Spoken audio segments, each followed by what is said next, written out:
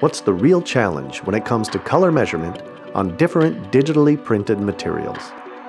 It is important to avoid wrong measurements caused by a minute measuring aperture. Materials with even surface and high-resolution prints can be measured with a small aperture so that many patches can fit on one single page for easier handling. Structured materials and surfaces require a larger aperture and larger patches to reach the highest level of accuracy. With our professional R&D department, we have been able to look closely at the obstacles and find the best solution. The Spectro LFP QB with its variable 2 to 8 millimeter aperture. By using a motor-driven optical zoom, the aperture size can be adapted automatically.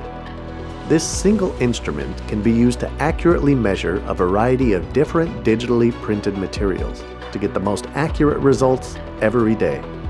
Thanks to Barbieri intelligent color measurement technology, precise color measurements will make you a top performer. When color quality counts, Barbieri